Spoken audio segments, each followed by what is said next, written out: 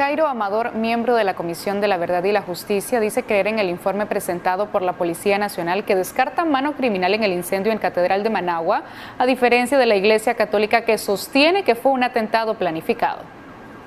El 31 de julio hubo un atentado en la capilla de la Sangre de Cristo de la Catedral de Managua, calificado así desde el Vaticano por el máximo representante de la Iglesia Católica. En Managua, el cardenal Leopoldo Brenes, tras conocer el resultado del peritaje, sostuvo que fue un acto terrorista, pese a que las investigaciones determinaron que no hubo mano criminal. Este acontecimiento fue minimizado por Cairo Amador, miembro de la Comisión de la Verdad y la Justicia.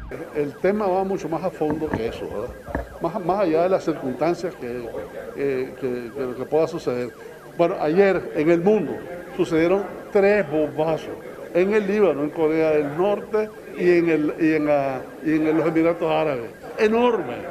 Los tres, desafortunadamente, no fueron al momento actos terroristas. Todos dicen que fueron cuestiones circunstanciales, que el amonio de nitrato, que, un mercado en, en, en, los Emiratos Árabes, que otro, un apartamento en, Corea del Norte, etc. Esas cosas pasan.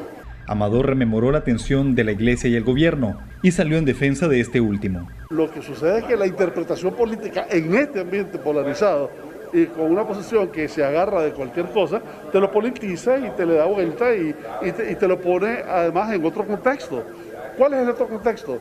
Un pensamiento lineal que del 79 para acá siempre el Frente Sandinista ha estado en contra de la iglesia. Eso no es cierto. No obstante, en el año 2004, Daniel Ortega pidió perdón a la iglesia católica por equivocarse, cometer muchos errores y atropellos a figuras tan respetadas. De manera que el incendio provocado, según la policía, por los vapores emanados de un atomizador con alcohol, es una versión creíble para Amador. De manera que la Comisión de la Verdad sí cree en la versión policial. Por supuesto.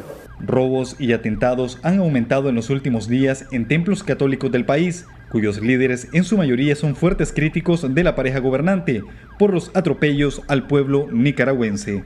Willy Narváez.